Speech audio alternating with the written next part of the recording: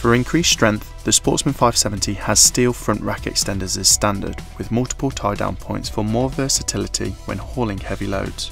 The Sportsman's iconic pod light boasts a striking 3 LED light setup, along with LED headlights, dual tail lights, and integrated turn signals for enhanced visibility. Polaris vehicles are pre-wired as standard for ease of accessory installation. With a wide range of accessories readily available, the Sportsman 570 has limitless possibilities to make it your own.